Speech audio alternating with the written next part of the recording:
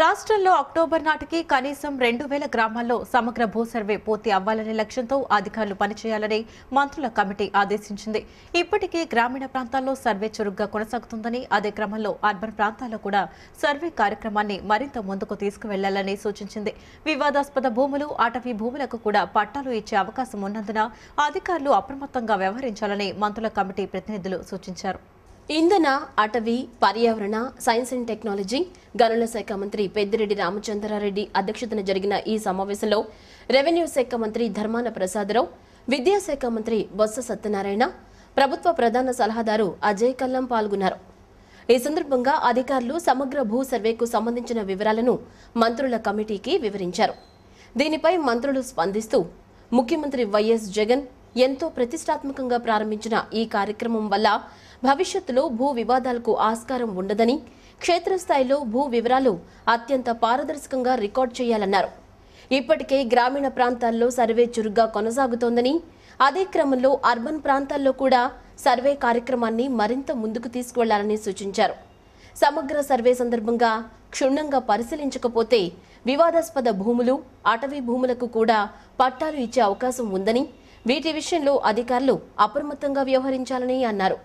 కేరళ తరహాలో కోనసీమను పర్యాటక ప్రదేశంగా అభివృద్ధి పరచాలని మంత్రి ఆర్కే రోజా అధికారులకు సూచించారు. తెలంగాణ నుండి మన రాష్ట్రానికి చెందాల్సిన పురావస్తు సంపదను రాబట్టే దిశగా చర్యలు తీసుకుంటున్నామని తెలిపారు. రాష్ట్ర వ్యాప్తంగా ఉన్న మ్యూజియాలను అభివృద్ధి చేయాలని ప్రభుత్వం నిర్ణయం తీసుకుందని ఆమె వివరించారు. ఏపీ సచివాలయంలో టూరిజం సాంస్కృతిక క్రీడా శాఖ అధికారులతో రాష్ట్ర పర్యాటక సాంస్కృతిక క్రీడలు యువజన సర్వీసుల శాఖ మంత్రి RK Roja SAAP chairman Byreddy Siddhartha Reddy సమీక్షా సమావేశం నిర్వహించారు. ఆంధ్రప్రదేశ్ మరియు తెలంగాణ రాష్ట్రాలు ఉమ్మడి చరిత్ర వారసత్వాన్ని పంచుకుంటున్నాయని అయితే రాష్ట్రాలు రెండు వేల పద్నాలుగులో విభజన తర్వాత పురాతన వస్తువులను మార్పిడి చేసుకోలేదని వీటిలో పురాతన శాసనాలు ఉన్నాయని వాటిలో కొన్ని రెండు వందల నుంచి మూడు వందలు బీసీఈ నాటివి ఉన్నాయని మంత్రి తెలిపారు. విభజన తరువాత రెండు రాష్ట్రాల పురావస్తు శాఖలు విలువైన పురాతన వస్తువుల జాబితా ద్వారా ఆంధ్రప్రదేశ్కి చెందాల్సిన పురావస్తు సంపదను రాష్ట్రానికి తీసుకురావడానికి చర్యలు చేపట్టామని మంత్రి తెలిపారు. రాష్ట్ర వ్యాప్తంగా ఉన్న మ్యూజియంలను అభివృద్ధి చేయాలని ప్రభుత్వం నిర్ణయం తీసుకుందని డిపిఆర్ తయారు చేసి కేంద్ర ప్రభుత్వానికి పంపాలని అధికారులకు మంత్రి ఆదేశించారు. మ్యూజియాలన్నీ టూరిజం అట్రాక్షన్ స్పాట్స్గా తయారు చేయాలని ఆధునీకరించాలని మంత్రి అధికారులకు ఆదేశించారు. కేరళ తరహాలో కోనసీమ బ్యాక్ వాటర్లో బోట్ హౌస్లు ఏర్పాటు చేసి తద్వారా పర్యాటకులను ఆకర్షించాలని అధికారులకు సూచించారు. ఉన్న వీధిని కూడా అభివృద్ధి చేసుకోలేని అసమర్థ నేత బుద్ధ వెంకన్న అని పశ్చిమ ఎమ్మెల్యే వెల్లంపల్లి శ్రీనివాసరావు ఆరోపించారు. ఆరేళ్ళు ఎమ్మెల్సీగా ఉన్న ఒక్క రూపాయి అభివృద్ధి కూడా చేయని వ్యక్తి వెంకన్న అని ఆగ్రహం వ్యక్తం చేశారు. ఉన్న ప్రాంతం అభివృద్ధి చేసుకోలేని వ్యక్తి సీఎం జగన్ను విమర్శించడం రాష్ట్రం దేశ రాజకీయాలు మాట్లాడటం విడ్డూరంగా ఉందన్నారు.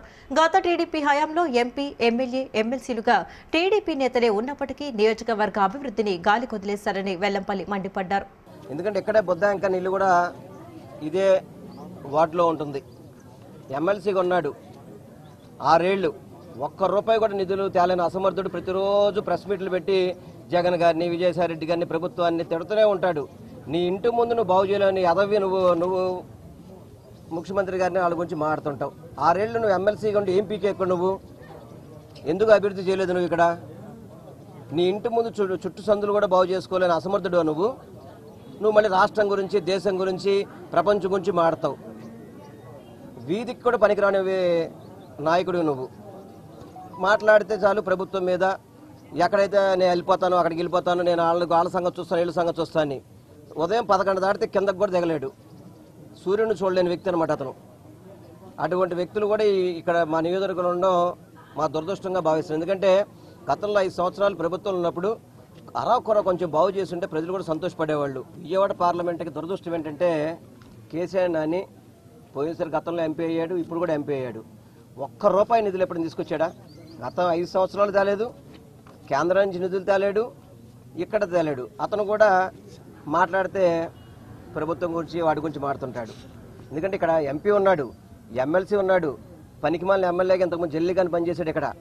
మంత్రి దేనమ్మ దీనికి ఆనుకొని ఉన్నాడు. ఇంతమంది ఉన్నా కానీ ఈ నియోజకవర్గానికి చేసిన శూన్యం. కానీ ఈ ప్రభుత్వం వచ్చాక వందల కోట్లతో అభివృద్ధి చేస్తున్నాం. వాళ్ళు చేయలేని పనులు మా జగనన్న ద్వారా చేయించి వీళ్ళని మళ్ళీ ఓటు అడుగుతాను కూడా మీతో తెలియదు ఎందుకంటే వాళ్ళందరూ కూడా అసమర్థులు అందరూ కూడా పనికిరాని అసమర్థులు. కాకపోతే దురదృష్టవశాత్తు వాళ్ళు గెలవడం జరిగింది ఈ- ఈ నియోజకవర్గానికి ఈ నియోజకవర్గానికి దుర్మార్గంగా వాళ్ళు ఉండడం వల్లే ఈ నియోజకవర్గం అభివృద్ధి చెందలేదని చెప్పి అందరూ కూడా తెలియపరచుకుంటున్నాం. తప్పకుండా ఏదైనా కానీ జగనన్న ఆశీస్సులతో దీవెంతో నియోజకవర్గాన్ని అభివృద్ధి చేస్తామని మీ అందరికీ కూడా తెలియపరచుకుంటున్నాం. దళితులకు సామాజిక న్యాయం సాధికారత అందే దిశగా కేంద్రంలో నరేంద్ర మోడీ ప్రభుత్వం పనిచేస్తుందని కేంద్ర మంత్రి రామ్దాస్ ఆద్వాలే తెలిపారు. దళితుల సంక్షేమానికి కేంద్ర ప్రభుత్వం అనేక పథకాలను అమలు చేస్తుందని వివరించారు. రాష్ట్రపతి ఎన్నికల్లో బీజేపీ అభ్యర్థి అయిన ద్రౌపది ముర్ముకు మద్దతు తెలిపినందుకు ముఖ్యమంత్రి జగన్మోహన్ రెడ్డికి ప్రత్యేక కృతజ్ఞతలు తెలిపారు. కోనసీమ జిల్లాకు డాక్టర్ బిఆర్ అంబేద్కర్ పేరు పెట్టడం సాహసోపేతమని దీన్ని స్థానిక ప్రజలందరూ స్వాగతించాలని కోరారు.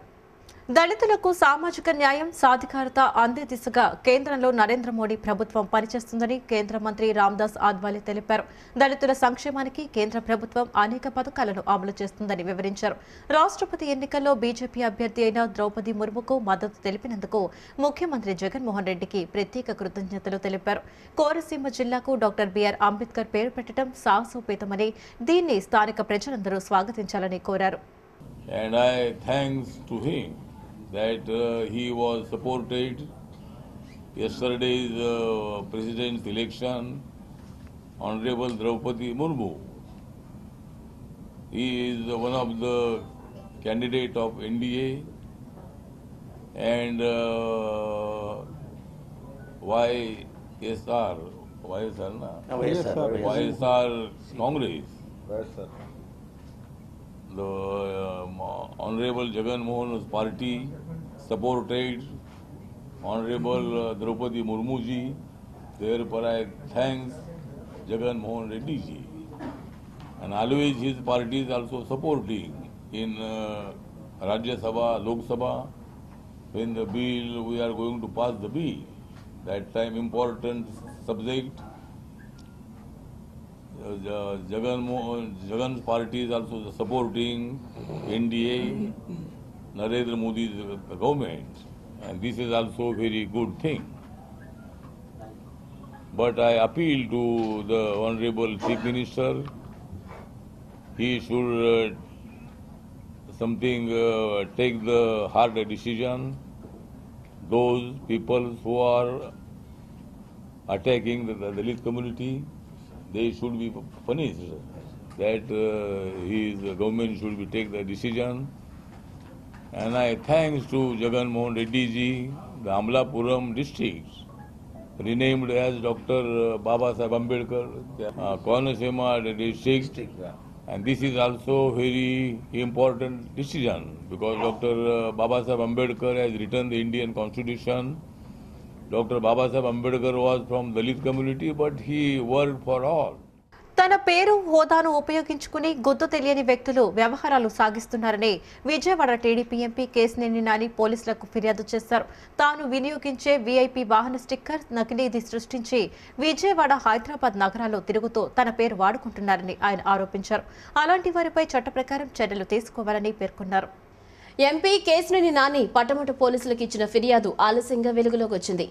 మే నెల ఇరవై ఏడున ఎంపీ నాని ఫిర్యాదు చేయగా జూన్ తొమ్మిదవ తేదీన పోలీసులు ఎఫ్ఐఆర్ నమోదు చేశారు. IPC four twenty four sixteen four fifteen four sixty eight four ninety nine సెక్షన్ల కింద నమోదు చేశారు. అయితే ఈ వ్యవహారంపై కేసునేని చిన్ని కూడా ఘాటుగా స్పందించారు. ఓ చిల్లర వివాదంలోకి ఎంపీ కేసునేని నాని తన కుటుంబాన్ని లాగటం బాధాకరమని పేర్కొన్నారు. ఆ స్టిక్కర్ ఎవరిదో ఏంటో విచారణలో తేలుతుందన్నారు. తాను కేవలం టీడీపీ కార్యకర్తనని చంద్రబాబు సీఎం కావటమే లక్ష్యమన్నారు. నాని మా శత్రువు కాదు సొంత అన్న అని చెప్పారు. పొద్దున కొన్ని వార్తాపత్రికల్లో వచ్చిన చిన్న చిల్లర వ్యవహారం గురించి మీరందరూ వచ్చారు. దానికి దానికి సమాధానంగా నేను చెప్పేది ఏంటంటే ఆయన ఒక ఎంపీ. ఆయన ఒక ఎంపీ. ఆయన ఈ చిన్న చిల్లర విషయాల్లో నా కుటుంబ సభ్యుల్ని కూడా లాగటం బాధాకరం. అంటే నా భార్యను కూడా ఈ వివాదంలోకి రా ఆయన లాగి నందుకు చాలా బాధపడుతున్నాం. అది ఆయన విజ్ఞతకు వదిలేస్తాం మా సోదరుడు ఆయన కేసినేని నాని గారు విజయవాడ మెంబర్ ఆఫ్ పార్లమెంట్ ఆయన ఈ కంప్లైంట్ ఇచ్చారని వచ్చిన దీని ప్రకారం ఆయనే వివాదంలోకి లాగారని నేను అనుకుంటున్నాను. నేను తెలు నేను ఒక తెలుగుదేశం పార్టీలో ఒక సామాన్య కార్యకర్తను నన్ను చంద్రబాబు నాయుడు గారు కానీ ఇంకొకళ్ళు కానీ ఏది వివాదంలోకి లాగలేదు. ఇది ఒక మా కుటుంబ వివాదం. దీంట్లో పార్టీకి కానీ చంద్రబాబు నాయుడు గారు కానీ ఎటువంటి సంబంధం లేని విషయం. కుటుంబ వివాదం మాట్లాడకుండా మీడియాకి రావటం అనేది నేను చేయలేదు. ఇది నాకు సంబంధించిన ప్రశ్న కూడా కాదు. ఈ వివాదం తీసుకొచ్చిన వారిని అడిగితే బాగుంటుందని నేను అనుకుంటున్నాను. ఇది అందుకే నేను అన్నది ఇది చిన్న చిల్లర విషయం అనేది అది పోలీస్ కంప్లైంట్ ఎట్లాగో వారు ఇచ్చారు కాబట్టి పోలీసులు ఎంక్వైరీలో తేలుతుందో వాళ్ళే తేల్చి ఈ విషయం మీకు చెప్తారు అసలు మీరు ఫోటోలు అంటున్నారు ఆ ఫోటోలను ఎంక్వైరీలో తేలనివ్వండి. అవి ఏంటనేది? ఆ ఫోటోలు తేలితేనే కదా మనకు తెలిసేది.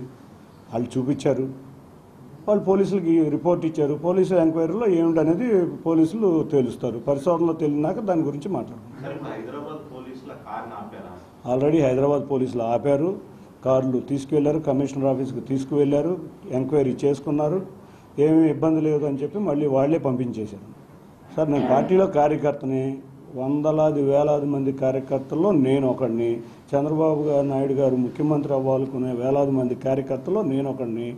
పార్టీలో నాకు ఏ పోస్టు లేదు ఏ అధికారం లేదు.